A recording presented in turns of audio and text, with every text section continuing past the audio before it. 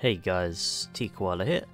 I've got a little guide slash tips video for you today, all to do with flying about in the open world sections in Dragon Ball Z Kakarot.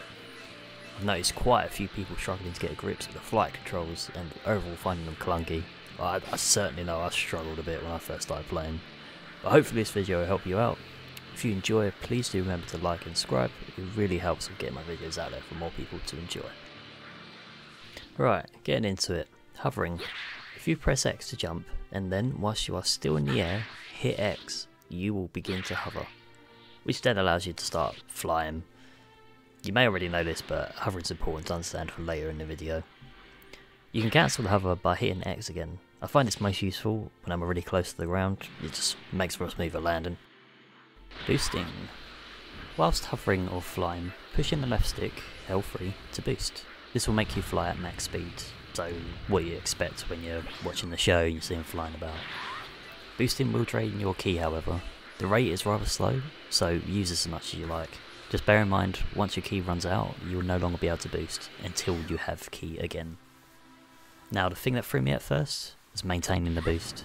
To maintain the boost, you simply need to hold the left stick forward. You can also maintain your boosted flying by holding your left stick to the left, right, back, any direction basically will keep the boosted flight maintained.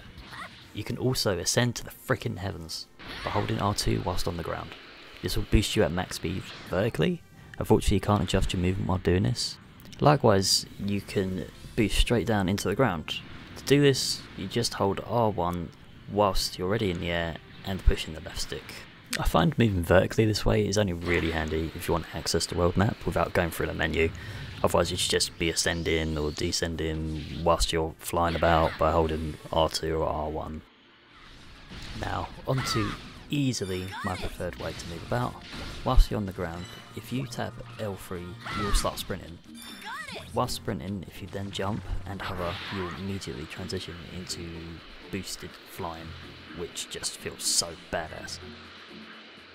Moving in airstreams. A quick mention for this one, as it can be a bit confusing when you're in an airstream and you want to hoover up all those juicy orbs, use the left stick to move in the desired direction. So move the left stick to the left and you'll move over towards the left.